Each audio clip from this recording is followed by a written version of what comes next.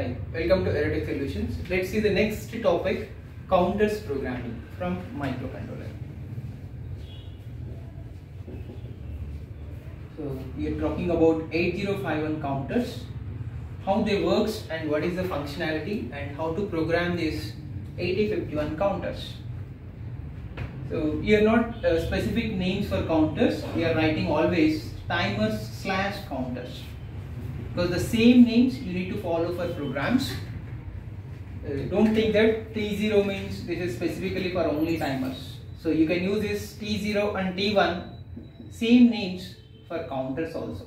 So that is the reason they are writing here clearly timer or counter. You cannot use two things at a time either timer or counter you have to use.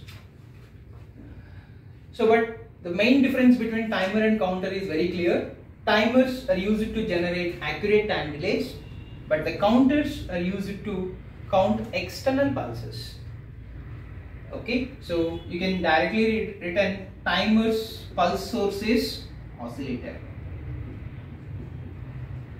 Pulses or anything clock cycle sources oscillator.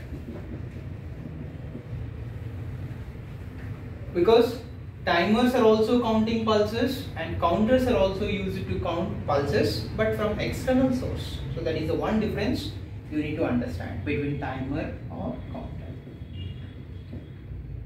So counter's pulse source is external.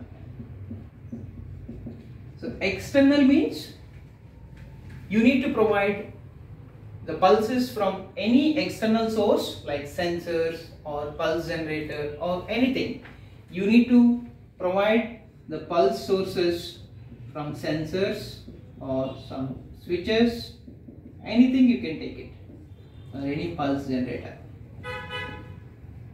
But you need to provide your pulses from outside source.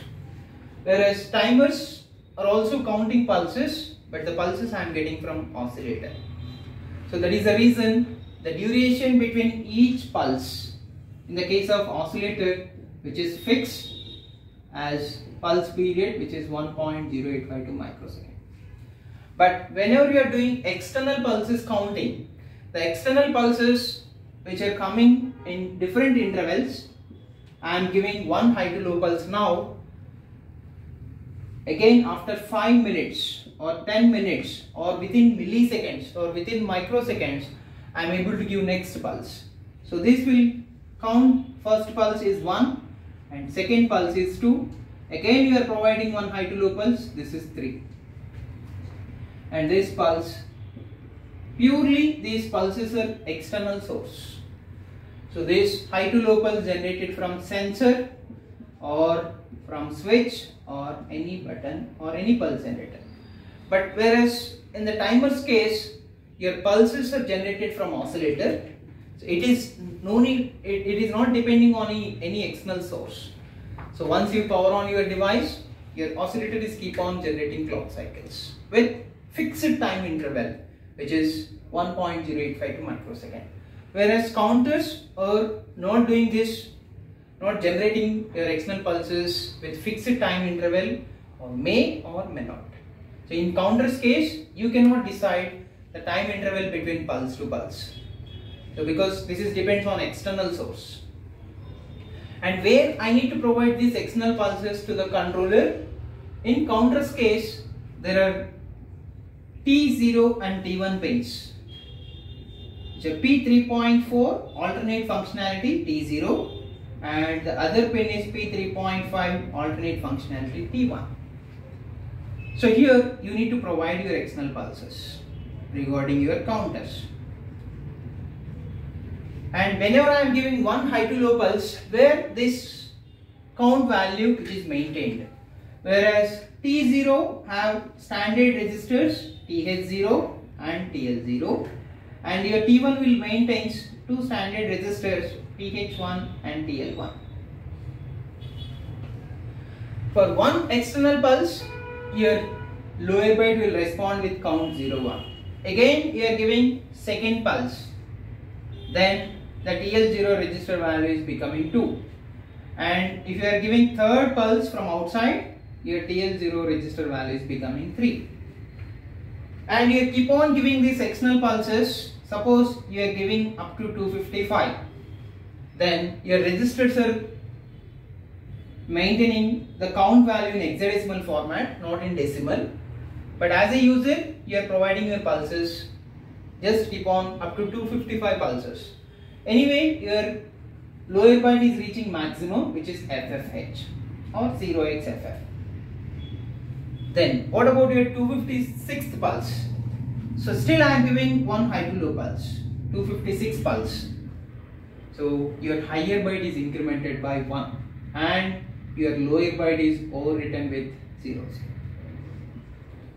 So you need to understand as together 100H, the equivalent 100H is 256 in hexadecimal. Again we are giving next 257th pulse. Then your lower byte is becoming 1. So again after reaching FF again your lower byte your higher byte is incremented by 1 as 200H. So this is how your pulses or which is counted through counters and the corresponding registers are changing their values according to the external pulses. And again counters are also having different modes as per TMOD register from previous session. So TMOD register is helping us to select your counters in different modes. Again as per mode your time your counters capacity decides. If you are choosing mode 0 then your timers are capable of 8192 pulses. And if you are choosing your counters in mode 1 they can count 65,536 external pulses. And if you are doing if you are choosing counter in mode 2 they are capable of counting 255 pulses. So but the main major difference between timer and counter is very clear. The timers are counting pulses from oscillator which is the internal source you may treat and counters are counting external pulses so you need to provide across the respective pins from hardware. So for counter source, counter 0, you need to provide your pulses across P0 pin which is available at P3.4 pin number 14 from microcontroller. And you need to provide your external pulses across pin number 15 for counter 1. So these external pulses which are maintained by standard registers TH0 and TL0 corresponding to counter 0 and counter 1 registers are TH1 and TL1 but the selection of counter 1 or counter 0 that will be decided by TMOD register as per previous session. So now I'll write one basic program to count 10 pulses by using counter 0. I'm just writing one direct program count 10 pulses by using counter 0 with mode 2.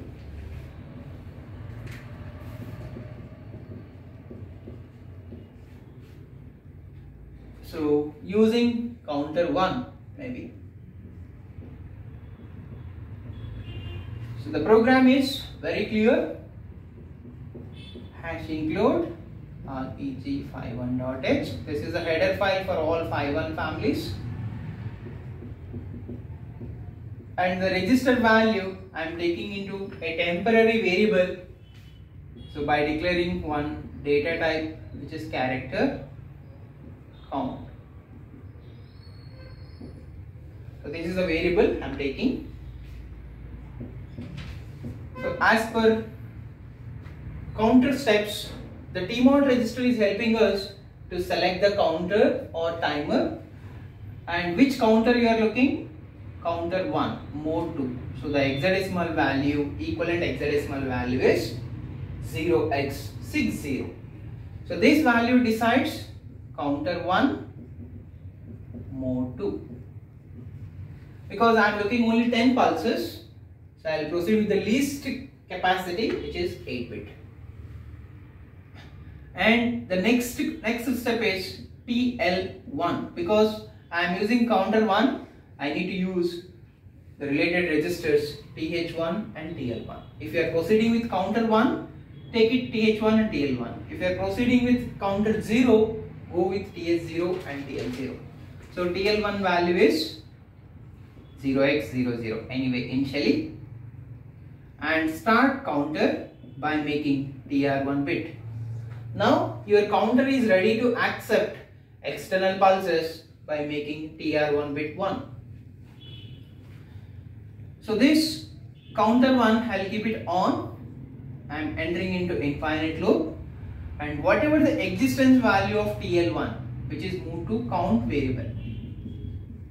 So if no external pulse TL1 register remains 0. If you are giving external pulse from outside then TL1 is keep on incrementing and the corresponding count value you can watch it with the variable count. But I have condition here. So this counter has to stop taking pulses from outside if it is more than 10. I'm just writing condition.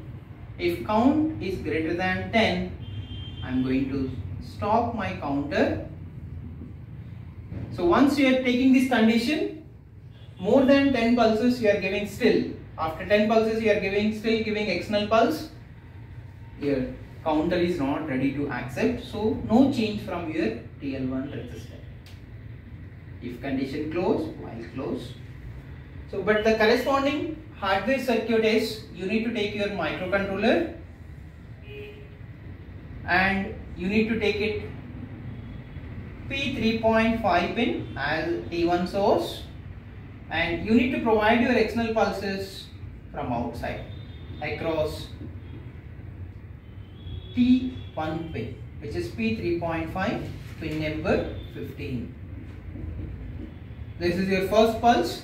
So your TL1 is becoming 01 and you are giving second pulse your TL1 is becoming 02 and for third pulse TL1 is becoming 03 and you keep on giving these external pulses up to 10 your TL1 is becoming 0x0A because 10 equivalent is A in hexadecimal but after 10 this condition is exist.